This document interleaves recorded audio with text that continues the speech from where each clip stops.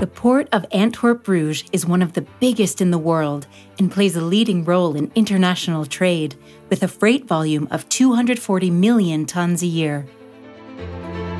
The port of Antwerp Bruges is the world leader in the import and export of roll on, roll off cargo.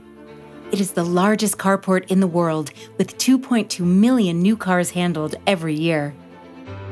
To ensure the correct functioning of the batteries and the electronic system of thousands of vehicles, it is necessary to have a reliable and efficient installation with great power output.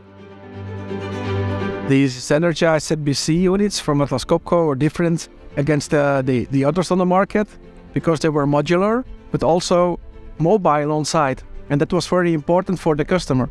Before we were completely net dependent. Now we're actually becoming more and more net independent. Eh?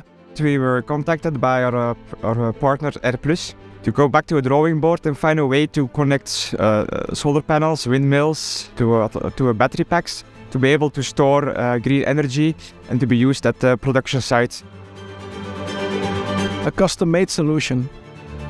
So yeah, it's a stepping stone in making thermal operations more and more sustainable pushing Belgium's transition towards a climate neutral society, Antwerp Euroterminal is making the most of renewable energies. The four Atlas Copco ZBC energy storage systems store solar and wind energy to efficiently deliver when it's most needed.